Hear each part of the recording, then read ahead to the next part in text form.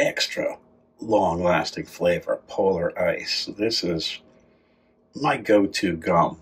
I know I should probably switch to one of those all natural brands, but just for flavor, for smell, I think that Wrigley's has really mastered the art and the science of gum. And if you think about it, this is the brand that had Juicy Fruit and Big Red and all those classic chewing gums that we grew up with as kids. And it has just come such a long way. The technology, the product itself is so much tastier, fresher.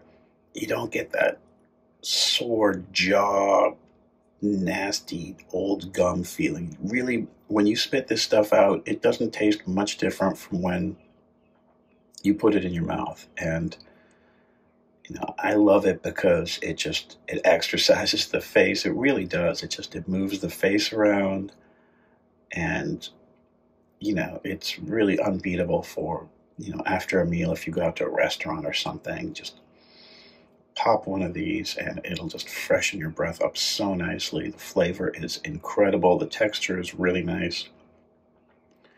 Super rubbery and super, super long lasting. And like I said, it doesn't have that nasty effect of the gum that we had growing up, the big red, that after you chew it for five or 10 minutes, it just hardens and turns into this yucky, flavorless mess. I mean, this is really, it's incredible what they've done with this stuff, with how long it lasts, how long it stays soft, and the excellent, excellent smell and flavor that it has.